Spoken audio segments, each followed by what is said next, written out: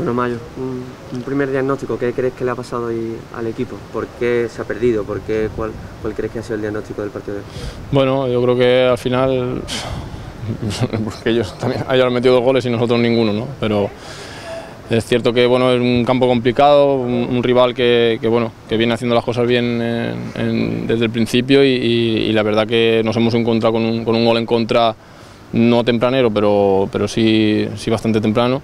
Y, bueno, y luego pues eh, nos ha costado un poquito, yo creo que cuando estábamos mejor en la segunda parte, que hemos podido, hemos podido contrarrestar eh, el gol de ellos con, con dos o tres ocasiones buenas nuestras, eh, no hemos tenido la pizca de fortuna que, hay que tener para, para, que el gol entrara y bueno, y, en una jugada aislada nos han metido el segundo y luego, luego ha sido más difícil. Más allá de eso, ¿qué crees que le ha podido faltar al equipo para hoy no perder? Bueno, ¿Crees que le, ha, que le ha podido faltar algo? Bueno, al final cuando, cuando pierdes pues eh, puedes decir que ha faltado muchas cosas, pero la verdad que ha sido un partido muy disputado, en este tipo de, campos eh, se gana por, pequeños detalles y han sido, han sido detalles. ¿no? El primer gol ha sido un balón una jugada de balón parado que, que centran en pase atrás y, marcan gol. Y bueno, y, el equipo yo creo que hemos competido, pero ellos yo creo que ellos han estado más intensos que nosotros.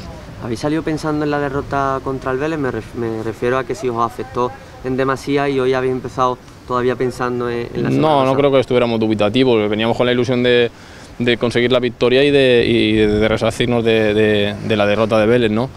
La verdad que los primeros minutos pues eh, no ha pasado prácticamente, nada hasta, hasta la acción del gol de ellos y, y bueno, la verdad es una pena porque bueno, eh, al final vienes aquí con la ilusión de poder conseguir los tres puntos, no lo consigues. Pero bueno, eh, al final este partido ya ha pasado a, visualizarlo, a corregir errores y, el, próximo, el próximo fin de semana hay otro partido importante. Y bueno, al final eh, veníamos de una racha buena, ahora llevamos una racha mala y hay que cortarla cuanto antes. ¿Cómo está el vestuario ahora mismo? Porque es lo que tú dices, ¿no? varios partidos sin perder y ahora dos seguidos perdiendo, igual que pasó en las primeras jornadas al final a eso al equipo le, jode, ¿no? Le, sí, toca, ¿no? Sí, sí, al final, pues eso, eh, tú eres capaz de cortar la primera dinámica negativa que, que tuvimos en, al inicio de temporada y con, cinco partidos consecutivos sin perder, con tres victorias y bueno, pues el, equipo, la gente se ilusiona, eh, nosotros también, también estábamos ilusionados de, ir, para arriba, pero bueno, eh, estos, golpes eh, en estas categorías pues sirven para, dar un golpe de realidad, ¿no? de, decir que aquí todos, todos compiten, todos son buenos, como nosotros o más, y que si no estamos a nuestro nivel máximo, pues vamos a sufrir, o sea que hay que, hay que levantarse y cuanto antes y, cortar la racha negativa esta. ¿Es una vuelta como a la tercera jornada o es una situación diferente?